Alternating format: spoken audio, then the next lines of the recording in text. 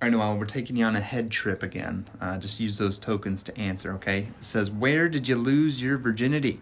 A, the bed, B, the bath, C, beyond, or D, bed, bath, and beyond. Which one are you thinking? Oh, okay. Well, that's fair. But in this instance, you were the biggest slut at the hospice care facility. So which one are you thinking now? Which one are you thinking? Oh, okay. Yeah, that makes sense. Makes sense.